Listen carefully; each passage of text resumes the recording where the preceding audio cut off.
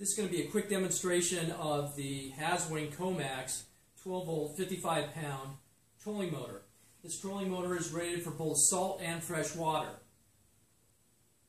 All the controls are on the tiller arm here which include the on off switch, a PWM speed controller dial, the up and down switch for the actuator prop unit, along with a digital battery power meter and a directional meter and the forward and reverse switch.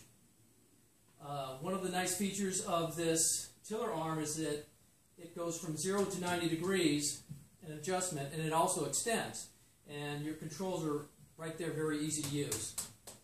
It also has a 2 to 1 gear ratio which means all I need to do is turn this tiller arm 45 degrees and I get a maximum turn of 90 degrees in the prop unit. Let's go ahead and turn this on. We have the prop spinning right there. And I'm going to turn it all the way off and show you the actuator.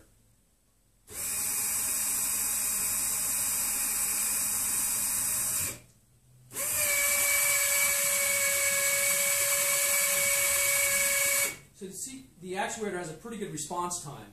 Now there's a nice feature in this that when your prop is turning and you decide that you want to adjust the depth of your prop unit, that the prop is going to go into a stall or pause mode. So let's go ahead and drop it down. The prop starts turning. Raise it up.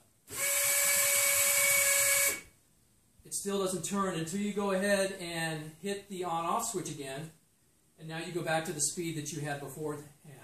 So this is a really nice little unit that works out very well for this NuCanoe Frontier 12.